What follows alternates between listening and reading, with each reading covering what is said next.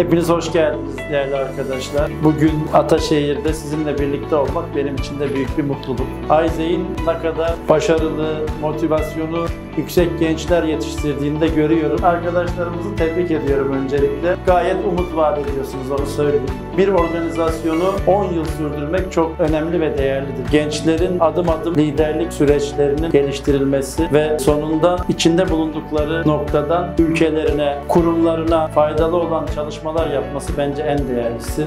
10. yılınız kutlu olsun. Geleceğe yönelik hayallerinizin peşinde koşmaktan geri durmayın. Hayallerini gerçekleştirmek için de cesaret göstermeden emin olun hiçbir sonuca varılmıyor. Şans her zaman cesurların yanında oluyor. Siz de cesaretle lütfen hayallerinizin peşinde koşun.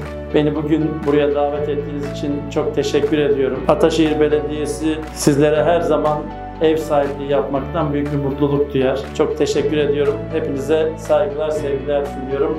10. yılınız kutlu olsun.